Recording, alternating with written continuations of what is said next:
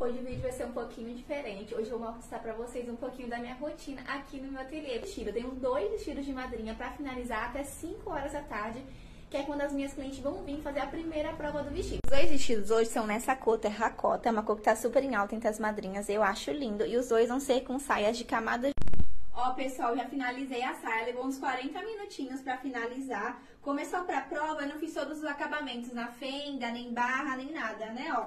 Eu... Pessoal, eu finalizei o primeiro vestido, tá? Finalizei entre aspas, porque falta bastante coisa pra finalizar ainda, porque a cliente já vem fazer a primeira prova. Então, é assim que ele fica na primeira prova. Olha, as clientes já vieram fazer a prova, tá ali o vestido e o outro eu coloquei aqui pra filmar pra vocês. Porque eu não dou tempo de filmar, porque as clientes chegaram bem na hora, mas eu finalizei a tempo, 5 horas da tarde, como o horário que elas iam vir, ó. E esse é o outro vestido que eu montei, olha que coisa linda.